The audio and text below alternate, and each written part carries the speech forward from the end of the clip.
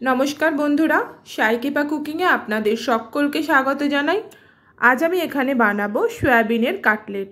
এই কাটলেটটা খেতে কিন্তু একদম মাটন কাটলেটের মতন হয়। ঘরে খুব কম উপকরণ দিয়ে আর খুব সহজেই কিন্তু এই কাটলেটটা আপনারা বানিয়ে নিতে পারেন। ভিডিওটা স্কিপ না করে পুরো ভিডিওটা দেখতে থাকুন। আশা করি আপনাদের ভিডিওটা ভালো লাগবে।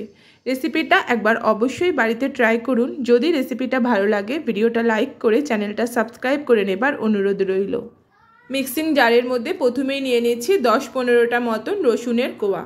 দিয়ে দিচ্ছি আমি এখানে এক আটি ধনে পাতা। ধনে পাতাটা ভালো করে ধুয়ে নিতে হবে। দিয়ে দিলাম এখানে ছ সাতটা কাঁচা লঙ্কা। এবার এটাকে আমি পেস্ট করে নিচ্ছি। অল্প জল দিয়ে আমি এটা পেস্ট করে নিয়েছি। এখানে আমি দুশো গ্রাম মতন সয়াবিন নিয়ে নিয়েছি। সয়াবিনটা আমি সেদ্ধ করে নিয়েছি, এবার এটাকে মিক্সিং জারের মধ্যে আমি পেস্ট করে নিচ্ছি। পেস্টটা খুব বেশি ফাইন কিন্তু করবেন না। তো আমি এখানে প্রথমে অর্ধেকটা পেস্ট করে নিচ্ছি। তো দেখুন, আমার এখানে অর্ধেকটা পেস্ট করা হয়ে গেল, বাকিটাও আমি এখানে পেস্ট করে নিয়েছি। তো আপনারা দেখতেই পাচ্ছেন, আমি কিন্তু একদম ফাইন পেস্ট এটা করিনি।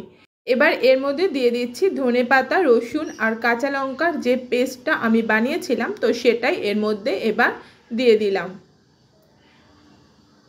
দিয়ে দিচ্ছি এখানে স্বাদ মতন লবণ। দিয়ে দিলাম আমি বড় দু চামচ ভিনিগার। দিয়ে দিচ্ছি বড় চামচের দু চামচ এখানে কর্নফ্লোর। বন্ধুরা, আপনারা যদি এখানে ভিনিগার ইউজ করতে না চান, তার পরিবর্তে লেবুর রসও ইউজ করতে পারেন। তো এবার পুরো মিশ্রণটা আমি ভালো করে মেখে নিচ্ছি। এটাকে পাঁচ সাত মিনিট আমি রেস্ট করতে দিচ্ছি। এবার কড়ার মধ্যে এক চামচ তেল গরম করে নিয়েছি, দিয়ে দিচ্ছি এই মিশ্রণটা। যেহেতু এখানে আমি সয়াবিনটা সেদ্ধ করে এটাকে পেস্ট করেছি, তো তার মধ্যে এখানে জল ছিল, আবার এখানে আমি ভিনেগার দিয়েছি, তো সেই জন্যে আমাকে এটাকে একটু শুকিয়ে নিতে হবে। তার জন্যে এটাকে আমি করার মধ্যে প্রায় দশ মিনিট ধরে এটাকে নেড়ে নিলাম। দেখুন, এবার কিন্তু জলটা একদম শুকিয়ে গেছে। তো জলটা কিন্তু আপনাকে একদম শুকিয়ে নিতে হবে। এবার এটাকে আমি একটু ঠান্ডা করতে দিচ্ছি। এখানে আমি বেড ক্রামস নিয়ে নিয়েছি আর নিয়েছি এখানে টু টিবিএসপি কর্নফ্লোরকে জলের মধ্যে গুলে নিয়েছি।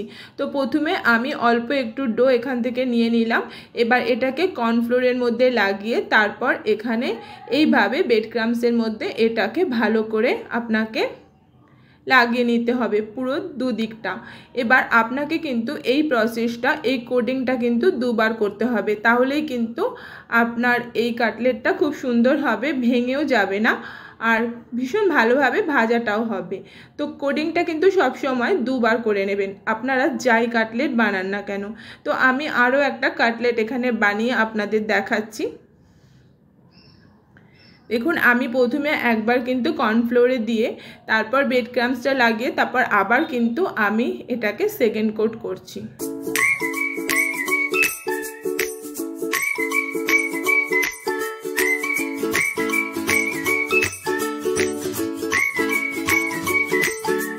আমার আরেকটা কাটলেটও এখানে বানানো হয়ে গেল।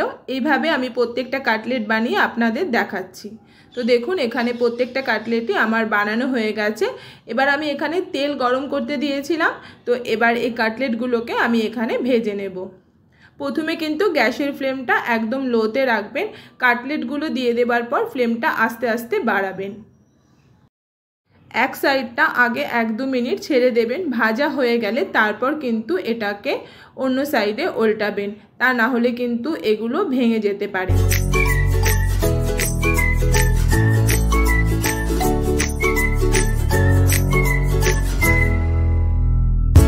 বন্ধুরা, দেখুন আমার কাটলেটগুলো কিন্তু ভাজা হয়ে গেছে। এবার এগুলোকে আমি এক এক করে তুলে নিচ্ছি। আপনারা এইভাবে বাড়িতে সয়াবিনের কাটলেট বানিয়ে দেখতে পারেন। এতটাই সুন্দর টেস্ট হয় যে বারবার কিন্তু বানাতে ইচ্ছা করবে। বন্ধুরা, এখানে আমার প্রত্যেকটা কাটলেট ভাজা হয়ে গেছে। আর কাটলেটগুলো দেখতেও যেমন সুন্দর লাগছে, খেতে কিন্তু তার থেকেও বেশি সুন্দর হয়। তো আপনাদের কাছে রিকোয়েস্ট রইল যে একবার বাড়িতে রেসিপিটা ট্রাই করুন। যদি রেসিপিটা আপনাদের ভালো লাগে ভিডিওটা লাইক করে চ্যানেলটা সাবস্ক্রাইব করে নেবার অনুরোধ রইল। আর এতটা সময় ধৈর্য ধরে ভিডিওটা দেখার জন্য আপনাদের অসংখ্য ধন্যবাদ। দেখা হবে আবার একটা নতুন রেসিপি নিয়ে।